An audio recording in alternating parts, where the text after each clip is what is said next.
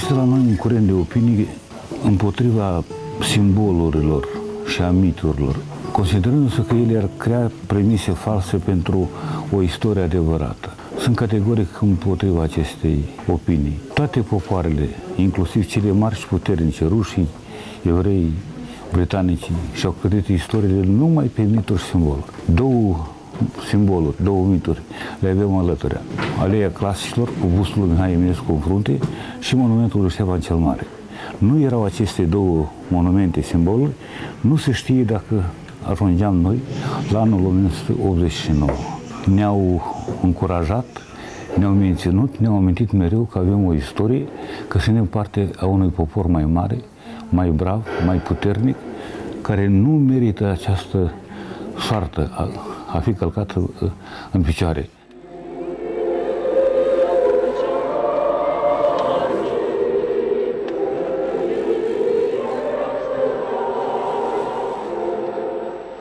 Nu cred că a fost dirijat. Se ajunsese la o stare că nu se mai putea. Adică vârfurile nu mai puteau și rădăcinile nu suportau. Era o stare de strangulare totală a libertății și atunci s-a produs o explozie, s-a produs un miracol. Cel mai interesant este că în această mișcare s-a lăsat antrenată o mulțime incredibilă. Cifrele care iarăși sunt contestate de unii sceptici sunt adevărate. Eu am fost martor, am văzut cu ochii mei cum veneau zecile de mii, nu puteau să fie sute acolo la Marea Adunare Națională, la prima. Cum venea la Teatru de Vară, că nu încăpea în, în întregul parc, Valea Morelor, mulțimile astea. Se uitase pe un timp de avantajele materiale, se uitase de necesitatea de a avea pâinea cea de toate zilele. Se vroia adevărul istoric, se vroia întoarcerea unor uh, adevăruri despre deportări, de exemplu despre uh, chinurile prin care au trecut uh, bunicii, părinții. Se electrizase lumea de idei de acestea aprinse de scriitori, mai ales intelectuali, că avem limba română, că trebuie să scriem cu litere latine, că avem o literatură foarte bogată și nu redusă la câțiva scriitori din Moldova istorică și aceea prezenta trunchiat. Probabil că unii nici nu se gândeau că îi așteaptă și niște riscuri, niște dificultăți de a învăța a scrie corect românește. Nu se gândeau atunci. Când au văzut că orice schimbare implică și un efort, sau mai multe eforturi, atunci am mai scăzut de entuziasm ca să se stingă cu încetul, să se ajungă astăzi la o situație tristă totuși. Oamenii preferă să plece, lăsând totul, dar mă gândesc dacă în țările baltice, care au fost atât de puternice, filonul acesta al demnității și al iubirii de neam, de limbă, de istorie, a fost atât de puternic, părea de neclintit. Și dacă acolo s-a stins entuziasmul sau a scăzut drastic, grav, ce să mai spunem la noi, unde e, filonul acesta al demnității naționale, al iubirii de neam, de istorie, de adevăr, n-a fost tot timpul atât de puternic pentru că a fost periclitat, a fost diluat într-un hal fără de hal. În cei 50 de ani de ocupație sovietică, dacă acolo s-a, uh, în țările baltice a fost au avut și lideri de partid, iubitori de țară și de neam și de limbă. La noi n-a fost așa ceva.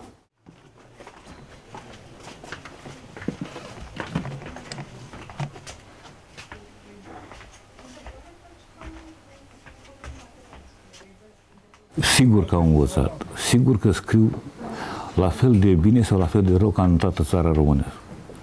Este incredibil, dar la București unii liceeni care învață pe nota 10 comit greșeli mai grave decât unii care învață la noi pe nota 8. E un paradox al ortografiei române că parcă e ușoară și în același timp nu e chiar ușoară. În general, problema noastră în ceea ce privește vorbirea, exprimarea în română, cea mai mare este, sigur, presiunea devastatoare a limbii ruse. Nu ar fi aceasta, a un vorbi la fel ca Sibiu, la fel ca Timișoara, ca la Iași, ca la Galați. Și acum și va fi încă 25 de ani dacă nu se vor lua anumite măsuri drastice, represive, de interzicere a canalelor uh, de televiziune rusești, a postului de radio rusești, a presei rusești. Domnule, nu poți găsi un ziar românesc la uh, chioșcurile astea, în timp ce te neci în presa rusească de speța cea, cea mai penibilă, imposibilă, tot așa cu, cu muzica, pseudo-rock acesta, pseudo-șanson acesta rusesc, ca să niște proaste imitații de celui american sau celui uh, francez, nebunesc lumea, pentru că nu știu nici jazzul adevărat, nici rock adevărat american. Rus ar trebui eliminată din învățământ, pentru că este atât de prezentă peste tot și se suplimentează și învățământul, unde se consolidează cunoștințele. Se face poate abuz și de engleză, dar abuzul adevărat, greu perceptibil pentru unii, este cel rusesc. Și trebuie, sigur, că e eliminată și din învățământ. Și rușii să învețe rusește, bulgarii să învețe bulgărește, ucrainenii ucrainește, evreii în cele două, trei limbi ale lor evreiești, dar fără să sfideze, fără să neglijeze și limba băștinașilor. Altfel, ce fel de cetățeni și mai ales se bat cu unul în piept că nașa Moldova, de ce mai spui așa? Du-te și spune uh, rezanul meu, cazanul meu, știu ce fi acolo nu le încalcă nimeni să se ducă în Turcmenia să stea acolo o lună, să se ducă în țările Baltice să stea două luni, să se ducă în Georgia să stea câteva săptămâni și vor vedea încălcări. Dar eu mă refeream de fapt la băștinași, nu la ruși. Vreau să cred că sunt în minoritate cei care încă nu pot scrie. E vai de steaua lor, desigur.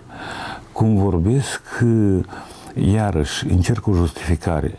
Au fost perioade, dacă citești opera lui Negruții, scrisă la începutul secolului al XIX-lea, te înspăimânți câte grecisme erau acolo. Dacă citești mai înainte cărțile religioase din secolul al XVII-lea, câte slavonisme sunt acolo, înspăimântător. Cu timpul s-a curățat. În cei 22 de ani de aflare a noastră în România Mare, nu s-a mai curățat româna. Ce frumoasă s-a făcut. Deci e nevoie de un mediu, e nevoie de o administrație, e nevoie și de dorință. Noi nu avem deocamdată nici una, nici a doua, nici a treia. Cu mare regret. Va persista problema pentru că convine.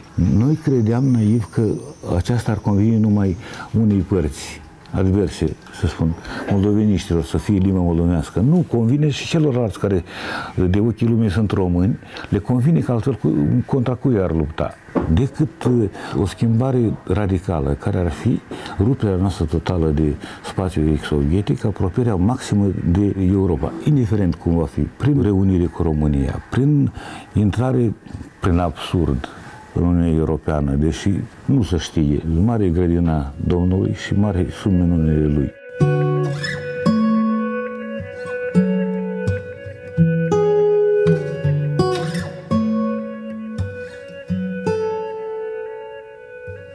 Am fost un norocos, am crescut într-o familie românească, formată și clădită în România Mare și care n-au acceptat nici ocupația sovietică, nici Uniunea Sovietică, n-au recunoscut ca țară. Nouă copii au fost. Mama, în primul rând, ne-a inoculat această dragoste pentru istorie, știa foarte bine, avea o memorie fenomenală pentru limba română, pentru literatura română, pentru credință. Noi am crescut cu trei rugăciuni. Nu ne așezam la masă fără să spunem o rugăciune. Nu ne culcam fără să spunem o rugăciune. Și ne-a educat aceste precepte, 10 porunci. Erau sfinte, le știam, le știu. Și unul dintre preceptele nescrise era să-ți iubești neamul, că în fața Domnului, la judecarea de apoi te duci ca român, nu altfel. Tatăl a fost saș în armata mareșalului și s-a mândrit cu aceasta. În plus aveam câteva rude evacuate în, în 44 uh, când au venit rușii și au rămas acolo, care veneau la noi, ne aduceau cărți, ne aduceau și alte bunuri, să spun așa, și ne antrenau în discuții calme, frumoase, în care era simplu ca bună ziua, adică unchiul e român și tata cine e. Vărul meu e român și vorbește românește și eu cum vorbesc.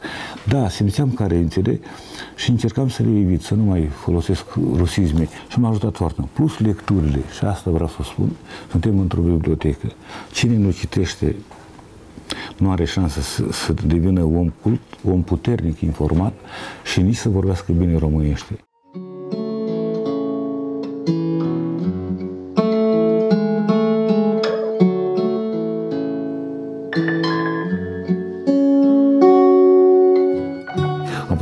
Pitorească, frumoasă, de care se îndrăgosteau unii, pentru că am fost ghid la muzeile cele mai mari din Rusia. Este taberant să mi se impută că aș avea eu rezervă. Eu am o rezervă față de unii ruși. Eu nu confund pe Pușkin cu Putin și nici pe Dostoevski cu uh, Gergenski. Vă rog să mă credeți. Mai mult, cunoașterea limbilor mi-a deschis niște ferestre largi, niște uși spre alte orizonturi, inclusiv anumite valori rusești. Am să văd pe urmă.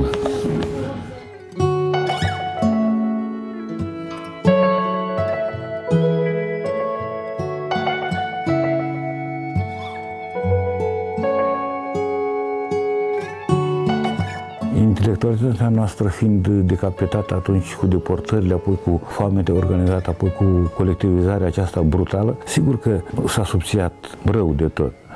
S-a refăcut într-o câțiva în perioada de ocupație sovietică, nu datorită puterii sovietice, ci în pofida ei. Eu unul am învățat tocmai ce mi era interzis, nu ce îmi dădea. Adică învățam pentru a avea notă și bursă și ce, ce îmi dădeau ei. Toată maculatura aceasta ideologică. Dar rest învățam în pofida și în pofida regimului s-a creat o intelectualitate care s-a mobilizat atunci în 1988, 89, 90 cu speranță, cu elan, cu entuziasm, care a fost sfărâmat într-o câtva încă odată cu venirea agrarienilor și apoi cu alte veniri ce au urmat, cu decepția de după 2009, când parcă au venit ai noștri și s-au dovedit că nu sunt ai noștri sau sunt ai nu știu cui și acest lanț de decepții a provocat o stare de dehamete de, de hamete este cuvântul cel mai potrivit. Nu mai vrea omul nimic să facă. În cel mai bun caz pleacă de aici și nu mai vrea să audă. Uită de, de toate. Nu mai atrage nici mirosul de tei, nici uh, fântâna de la poarta casei părintești și chiar nici bocetul mamei așteptând. Asta e.